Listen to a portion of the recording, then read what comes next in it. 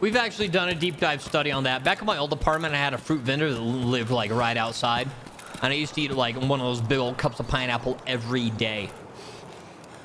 And so like I did about three months of eating pineapple five times a week. Usually six times a week. Um, a full thing a day. And and every day, so like the from from like day one, I tasted my cum afterwards. And I and like it was bitter and it was gross and I, you know, not good. And so like from day one and I every day I would try and taste it a little bit afterwards in the evenings and I never noticed a significant change. But I also feel like I might have done the experiment wrong because I was like, you know, microdosing my cum every day, that I never was able to see a major change because I was, you know, is always just, you know, the subtle change every day, and you know, every day you don't notice it. I feel like I probably should have waited and like tasted it like every two weeks, and I would have noticed a change. Ну ничего,